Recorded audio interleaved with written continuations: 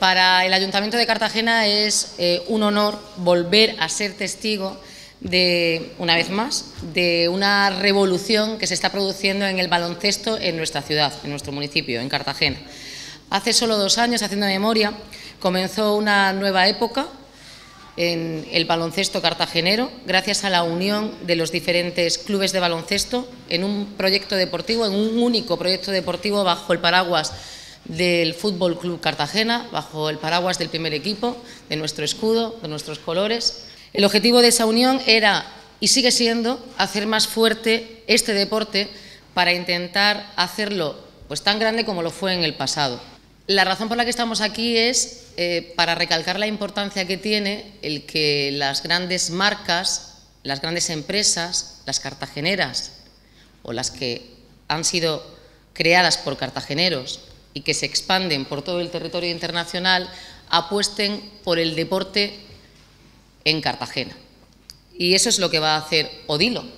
a partir de ahora para nuestro baloncesto. Pues a partir de ahora esta empresa cartagenera de éxito internacional eh, va a unir su nombre al baloncesto para juntos cumplir sin duda un sueño con el que se comenzó esta segunda etapa. Hemos intentado gestionar las cosas con calidad, ilusión, orgullo y con la categoría que nuestra ciudad merece al transmitir su imagen al resto de España. Y más que seguiremos creciendo para convertir que el baloncesto de nuestra ciudad sea un proyecto real, de presente y de futuro. Por ello, qué importante es el apoyo como lo de nuestro patrocinado Dilo para asegurar esa sostenibilidad de este, de este proyecto. Lo más novedoso es que a partir de ahora el primer equipo masculino como femenino y todos los equipos de cantera se van a llamar Odilo Fútbol Club Cartagena CB. Para nosotros nos hace mucha ilusión el patrocinar a todas las categorías del, baloncesto en Cartagena. Estamos muy orgullosos de unir el nombre de Odilo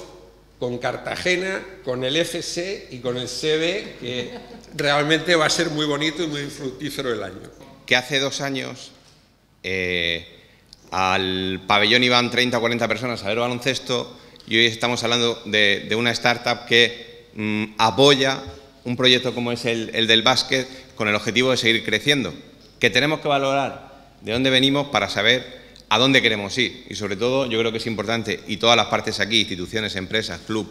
lo tenemos claro con los pies en el suelo y andando antes de, correr, porque, y miro ahí a, Gustavo Aranzana que tuve con él una conversación el año pasado, creo que son las pautas que hay que seguir y no creer que todo va a llegar por, por amor al arte. Va a llegar por el trabajo de los chicos que tenemos ahí, por el trabajo del cuerpo técnico, por el respaldo de, las instituciones, de las empresas, de, de la afición y a partir de ahí,